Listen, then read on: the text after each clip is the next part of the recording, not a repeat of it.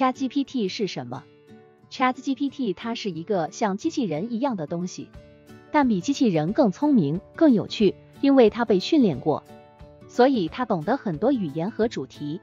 ChatGPT 它的名字是由 Chat 和 GPT 两个词组合而成的，Chat 意思是聊天，GPT 是一种强大的语言生成模型，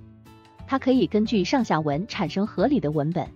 如果你有任何问题或需要一些建议，ChatGPT 就像是你最好的朋友一样，总是会在这里陪住你。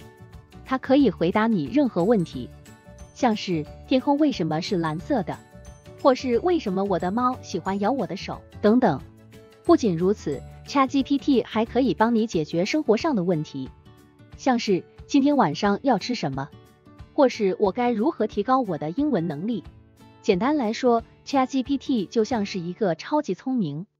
超级有趣的朋友，可以帮你解决任何问题。现在就来和 ChatGPT 聊天吧。ChatGPT 和 Siri 有什么不同？ChatGPT 就像是一个超级聪明、超级有趣的朋友，可以和你聊天、解答问题，还能学习你的喜好，变得更加贴心。ChatGPT 有无穷无尽的知识。且可以用多种语言沟通，所以无论你是哪里人，都能和它交流。而 Siri 嘛，虽然它也可以回答你的问题，但它只能用限定的指令回应，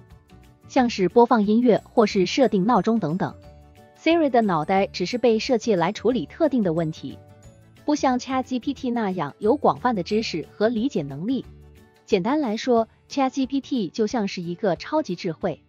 超级幽默的朋友。而 Siri 就像是一个简单、单一功能的助手，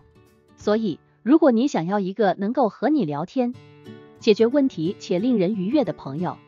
那 ChatGPT 就是你最好的选择了。不过，当然也有些人更喜欢 Siri 这样的助手，因为它能够轻易的协助你完成特定的任务，像是发送简讯或设定行程表。Siri 的使用者界面也更加简单易懂。不需要像和 Chat GPT 一样打字进行对话，但是如果你想要一个更全面、更聪明的 AI 助手，那 Chat GPT 就是你需要的了。它能够回答你的任何问题，进行智能对话，并且还可以提供更多的资讯，让你拥有更广泛的知识。无论你选择 Chat GPT 还是 Siri，都可以提供你不同的使用体验，